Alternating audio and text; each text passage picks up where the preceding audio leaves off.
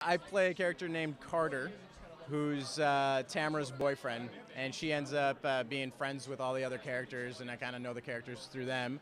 Um, and uh, he's kind of uh, kind of think he's a little bit douchey off the top, and then he ends up having kind of like a heart of gold, I think. Uh, and he's got a wicked sense of style. Wicked.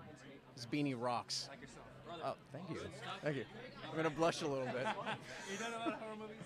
You done a lot of horror movies? Uh, I did. Uh, I did a segment on uh, ABCs of Death 2, and then uh, a long time ago, I did like a low-budget feature called uh, Dead Water. And when you do a horror movie, is it uh, do you get a different feeling, like kind of like brace yourself in a way, almost, or Like, do I brace myself when I'm when I'm acting in the roles and stuff? yeah, just like You know what? I, I don't know if I brace myself. I think it's uh, I think there's a lot more adrenaline that you got to be prepared for. Uh, there's a lot more energy that goes into it, especially like physical energy. There's a lot of more screaming, the physical fighting, all that stuff, more than drama. I think it's just different types of energy that go into it. do you consider yourself a person that scares easy? Yeah. Yeah, yeah, I do. Actually, I joke that uh, my girlfriend's a huge horror fan. Uh, I'm a big horror fan too, but I, I kind of wish that uh, that my fears wouldn't take over so much. So she's usually got to persuade me to watch some movies, and I'm usually the guy in the theater that's got his hoodie like like this, and I've got I'm like hiding behind her shoulders. I'm like, oh, oh, no, oh! I'm like the loud guy in the theater. So, uh, yeah. Well, you won't be like that with this movie, you know. You pretty much know. I might, man. I gotta be honest with you. I'm like, oh no, don't go there. Like to my own character. Like, I'm like, I forgot that. Like, Let's say if you were in your character's position, but it was just you. How would you, uh, react? survive? How would I? I'd run away. And you're stuck. Let's say you're stuck in the I'm. s- hospital. Oh man, you're making this hard. Okay, so I'm stuck. You can be creative, you can be- Okay, all right, man. Uh, so this is what I would do. Uh, I would grab anything I could find, and just start throwing them at the guy. Uh, I've got some pretty good aim, so I would hope that like maybe a knife or a sword would be lying around somewhere totally random. Um, where am I in this situation? In the ho- in the more okay.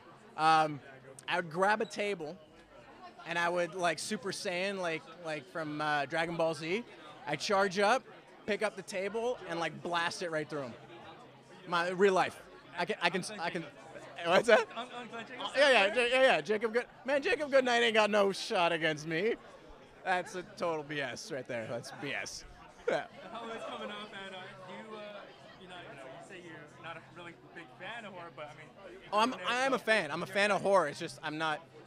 I'm, I scare easy. So So what do you do during Halloween? You still go out to the mazes, go out to the hayrides? no man. I don't. I don't go to. I actually. Uh, Nothing to distract you? No, you know what? My girlfriend and I go to her family's place, and we actually have kind of like a nice dinner with the family, and we go around the table every time the uh, the door rings. So each one of us goes and gives candy to the kids and stuff like that. So it's pretty cool. Kind of nice. Yeah, that's cool. Yeah. So you don't dress up then? I used to a lot. I used to a lot. Now, uh, now I get scared to go out. I think the kids would scare me, man. Like to be honest with you, I'm weak, dude. You said you I'm can so. take Jacob Goodnight. I can take. Jacob. Man, you said I had to, dude. I didn't have a choice. You know, you were like, you can't get out. I'm like, man, okay, I have to fight him. I gotta fight him. If I could be scared, man, but if I gotta kill Jacob Goodnight, man, I, I'll try. I don't know if I'll succeed, but who knows, man. And one last question. Well, what do fans, what do you think they'll uh, find different about this movie than other horror movies they've seen? You know what? We we worked real hard on developing like relationships within the characters, and I find that the characters uh, have quite a bit of depth to them.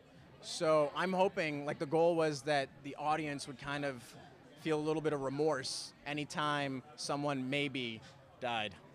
I'm not giving up any spoilers, but yeah, I think that was the big thing. The way it's shot is amazing too. Yeah, I heard about that. Yeah. Jacob told me that. Glenn Jacobs told me the cinematography was very pretty. So beautiful. Very violent, but very pretty. Yeah, yeah. There's a there's a beauty to the violence. It's really weird, but it's super cool. Yeah. And uh, let's say, okay, I got one more. Okay, one more question. Let's say you were a serial killer. Um, what? I'm gonna get arrested for this. No. Okay. It's high- totally hypothetical. Uh, okay. All right. Right? Cool. Okay. okay. Yeah, yeah, yeah. Let's let's see what happens. Okay. So I'm a serial What- killer. What would be your uh, go-to weapon or go-to, you know, everyone's got Go-to weapon? or a way to kill people. Oh man. Dig Uh, deep. darkest. okay.